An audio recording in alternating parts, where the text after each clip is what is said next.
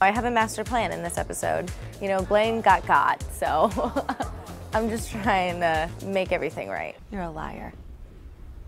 She questioned my honor. I demand satisfaction in Warbler tradition.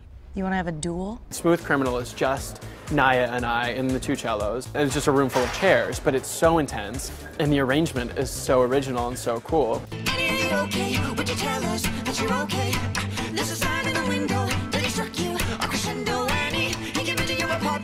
Left the bloodstains on the carpet, and then you ran into the bedroom. You were struck down. It was your doom. The cellists were amazing. They blew my mind. Their bows are just like torn apart by the end of the number. It was intense. It's like a cat and mouse thing, and I like it. It's like I'm coming to do some damage. it was great. It was so much fun. So getting to do that with Naya has been a blast. You've been hit by, you've been struck by a smooth criminal. It's Michael. You, don't get that many opportunities in your life, and this is definitely one of those things that I'll be able to look back and be like, I did that.